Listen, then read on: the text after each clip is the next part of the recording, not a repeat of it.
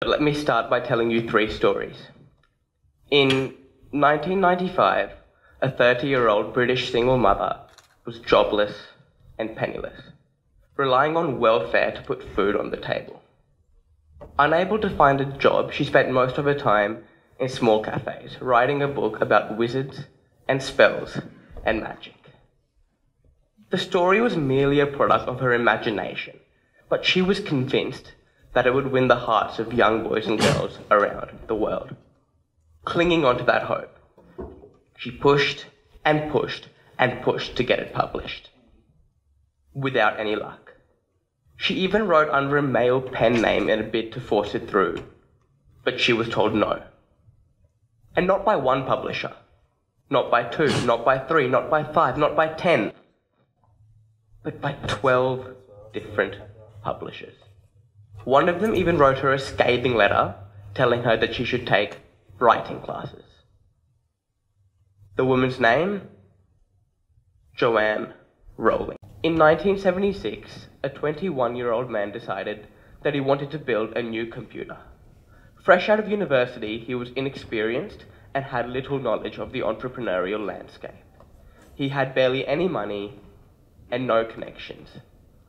He used to spend hours in his garage or his kitchen assembling parts and then desperately calling investors, pleading for their interest. He splashed $1,500 in parts for an unproven product, which was an unimaginably large amount of money at the time.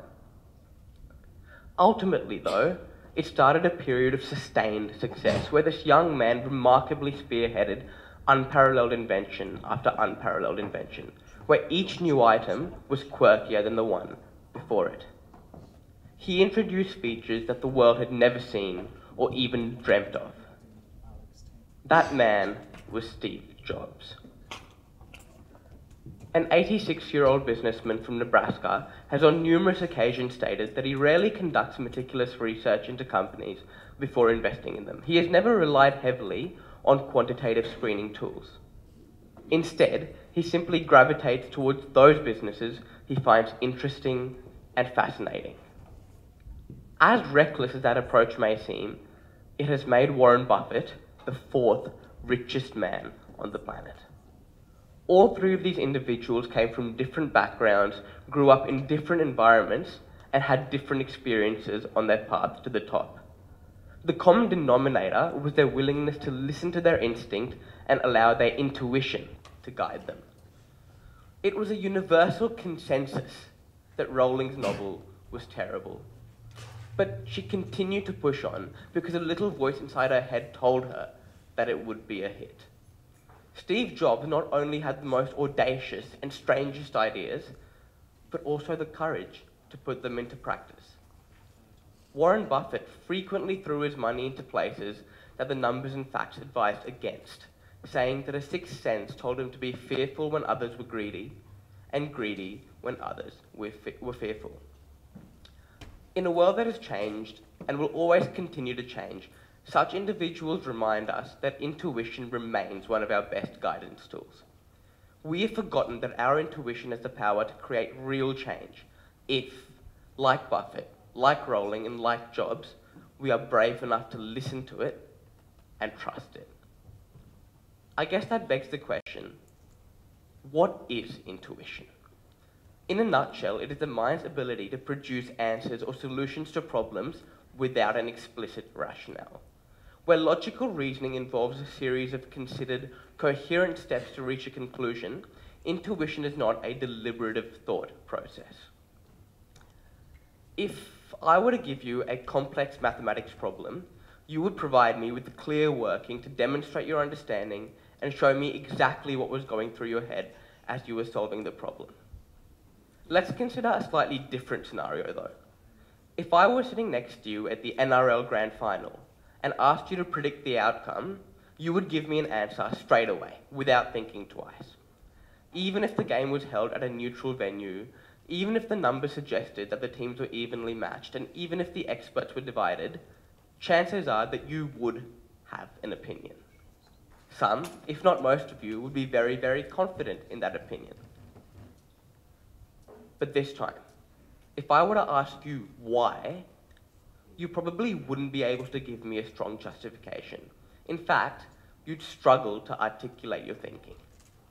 In that sense, I like to define intuition as a decision making method which lacks awareness of a definite thought process and does not require effort to apply. So, if our intuition has nothing to do with the deliberate analysis and combination of information, where does it actually come from? Contrary to popular belief, the answer is not thin air. Our instinct or intuition can be, uh, can be conceptualized as an advanced form of pattern recognition conducted on a subconscious level. That is to say, our brain has a habit of forming associations between past experiences and current circumstances, even if those past experiences aren't fresh in our memory. Albert Einstein once said that intuition is nothing but the product of earlier intellectual experience. The reason that those decisions feel instantaneous, feel spontaneous, feel effortless, is because they are based primarily on recognition. To illustrate this point, Dutch psychologist Adrian de Groot points to the ability of skilled chess players to rapidly identify promising moves. An experienced player who has faced thousands of different scenarios in previous games can subconsciously use these memories to pattern match, even though they can't actively recall every one of those scenarios. The brain of a novice, however, has not been cataloguing information over such a long period of time, and that's why they may struggle to run these mental simulations. Interestingly, it is believed that intuition is a very primitive trait that exists in most animals. For species that don't study economics and don't know how to conduct a cost benefit analysis, and for species that simply aren't intelligent enough to consciously think of ways to solve problems, a reliance on instinct is the only way to survive. If a zebra hears a faint rustle in the bushes, it will bolt, because the last time that happened, its best friend got eaten by a lion. In a slightly more pleasant example, if I give my dog a treat he will eat it without batting an eye because the last time I gave him something edible, it tasted really, really good. Humans are rather different. Countless times in her career, Oprah Winfrey suggested that we have forgotten how to listen to our intuition because of our capacity to think deeply and to rationalize. That's what we understand, that's what we can put into words, and that's what makes us comfortable. If in 1976, you would ask Ronald Wayne why he sold his 10% share in Apple for $800, he would have shown you a plethora of graphs, tables, numbers, and statistics to conclusively prove to you that Apple was going to fail. He would have told you that Steve Jobs' decision to splash $1,500 on an unproven product was reckless and a recipe for disaster.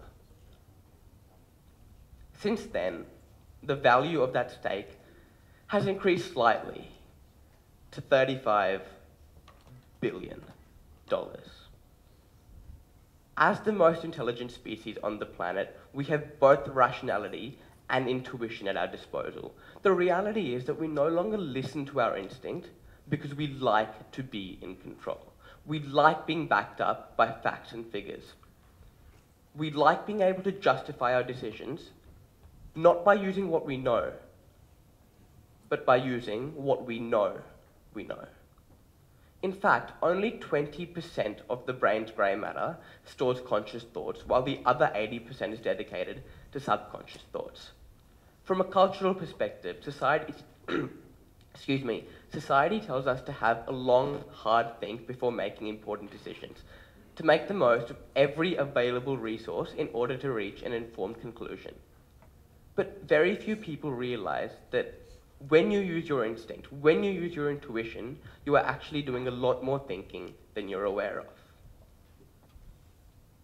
At the end of the day, though, when all said and done, the most important question in this speech is whether or not intuition still holds a place in a world where we have so much access to information, education, and cold hard facts, where stock market behavior can be predicted with surprising accuracy, where producers know exactly what consumers desire, where Google allows us to read up on almost everything known to humankind.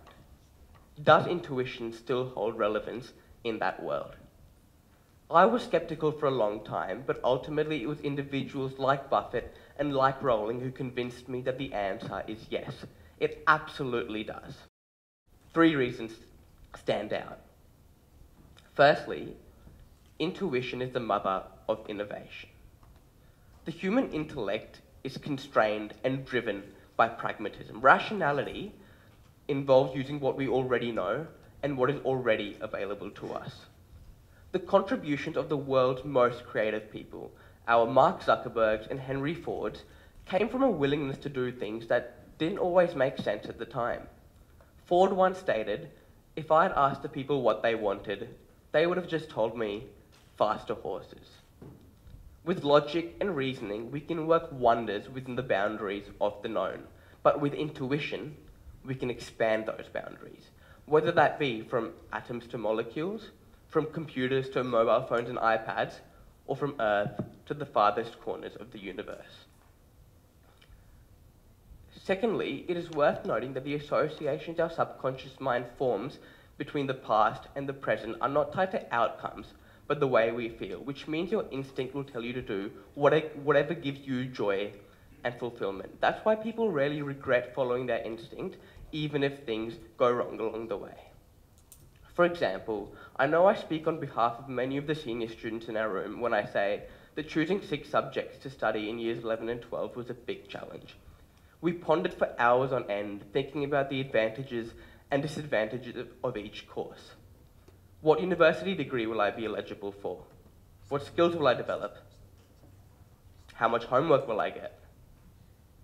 Even after answering these questions, it is likely that many of you were still undecided and reached the point where you had to choose one of two or three options. Even though those options seemed inseparable at the time, you probably did make the right choice and put more thought into your decision than you were aware of. Thirdly, the more you use your intuition, the better it gets. Sometimes it does lead us down the wrong path, but the more experiences we feed our brain, the stronger our subconscious memory bank becomes. Ultimately, the point of this talk was not to tell you to stop using your brain and rely solely on an inner voice. Instead, it was to show you that intuition can be a powerful and reliable tool which, if used well, has the power to create real change.